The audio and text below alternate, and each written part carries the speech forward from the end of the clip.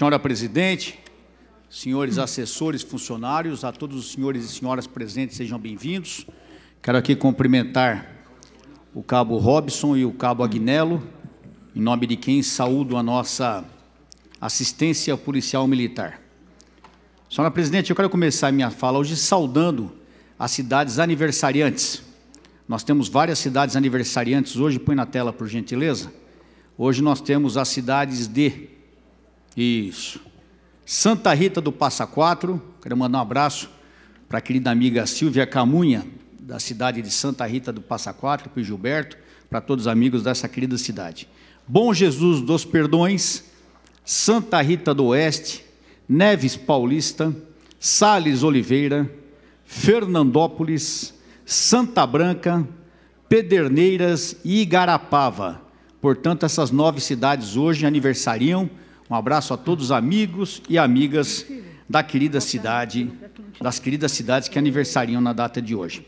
Senhora Presidente, hoje também, para nós que somos militares, é um dia que é comemorado o Dia de, da Aviação de Patrulha.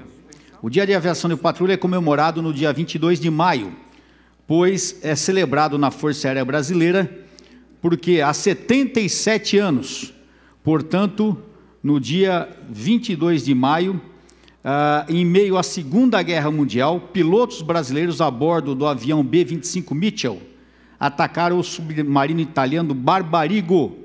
E essa data ficou sendo a data da aviação de patrulha. Eu só acho que essa data está errada, não são 77 anos. Se for em 45, já vão para mais anos, 74, 74 anos, salvo engano. Essa data deve estar tá deve estar incompleta aqui. Bom, eu vou dar uma olhadinha, mas enfim, no dia 22 de maio de 1945, 70, 74 anos, salvo engano, foi quando é, houve esse ataque ao submarino e ficou a data do dia de aviação de patrulha na Força Aérea Brasileira. Um abraço a todos os nossos amigos e amigas da, do dia da aviação de patrulha. Infelizmente, hoje nós temos mais uma morte a lamentar aqui de policial militar, senhora presidente. É um policial militar do Pará. Está havendo um problema muito sério no norte e nordeste é, é, é, é, organizações criminosas, do crime organizado. Eu reputo organizações do crime organizado, senhora presidente, como terrorismo. Eu não sei se a senhora sabe, se o deputado Dalben sabe, nós temos é, é, a nível internacional 45 classificações como terrorismo, organizações terroristas. Só que no Brasil só são contadas como 42, porque fora do Brasil, tanto o PCC, o Comando Vermelho, a, a Filhos do Norte, são organizações que são contadas no nível de organizações terroristas. Mas aqui no Brasil, a gente com medo de falar que são terroristas, nós falamos que são crime organizado. Não são, são terroristas, porque eles causam terror à popula população, incendiando ônibus, atacando instalações, oh, atacando agentes públicos. Isso é típico do terrorismo. E nós temos, infelizmente, uma morte a lamentar de um policial militar que estava desaparecido desde o último dia 19. Coloca a foto dele, por favor. É o policial militar, cabo da Polícia Militar do Pará, João Ranilson Castro Silva. O corpo dele foi encontrado na, data de ontem à tarde, na terça-feira, e foi reconhecido no Instituto Médico Legal, porque ele já estava em estado de decomposição. O cabo John Ranilson Castro da Silva, ele saiu no último domingo, dia 19, de casa, para vender um andajá. A senhora sabe o que é um andajá, não? não. Alguém sabe o que é um andajá? Andajá é aquele, aquele andador de bebês. Lá eles chamam de andajá, eu também não sabia. Enfim, ele saiu de casa para vender esse, é, é, esse, esse andador de bebês e desapareceu. E foi encontrado o corpo dele na manhã de segunda-feira e, e terça-feira foi reconhecido no necrotério. Ele estava na, servindo na Corregedoria Geral da Polícia Militar, servia na corporação há nove anos e seis meses e deixou a esposa como dependente. Então vejam bem que situação complicada. Mais um policial militar no Pará que é executado.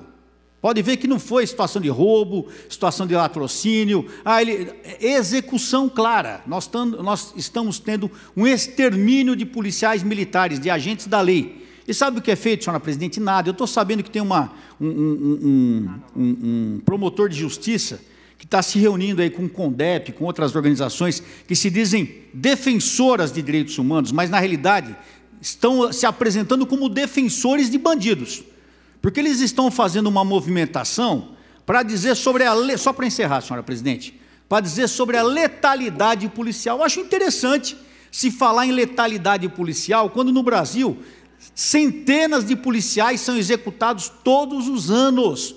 Em nenhum outro país do mundo eu desafio me trazer aqui uma estatística de outro país do mundo que tem o número de policiais mortos como nós temos no Brasil. E esse promotor e o CONDEP, que aliás, que aliás, lembrando muito bem o CONDEP, que tinha como vice-presidente o indivíduo do PCC, por isso que eles defendem bandido, que tinha como sub, é, sub é, vice-diretor lá, vice-presidente, o indivíduo do PCC, estão se dizendo contra a letalidade policial. Ah, nós temos que dizer contra a letalidade criminal para que não morram mais policiais, para que não morram mais trabalhadores, para que não morram mais pais de família. E eu pergunto a todos que nos ouvem aqui pela TV Assembleia: o que você quer para o seu Brasil? Um Brasil onde o crime domine ou um Brasil onde a lei domine? Onde você possa sair de manhã e voltar no final do dia, o seu filho possa sair para ir para a escola, para ir para a igreja, para ir para uma festa e possa voltar o seu filho e sua filha. É isso que nós queremos para o Brasil. Um lugar que você possa dormir tranquilo à noite, não tendo um pancadão do lado da sua casa impedindo, impedindo de você descansar. Então a população precisa estar bem atenta a esse tipo de indivíduos que se apresentam como defensores de direitos humanos, mas eles não são.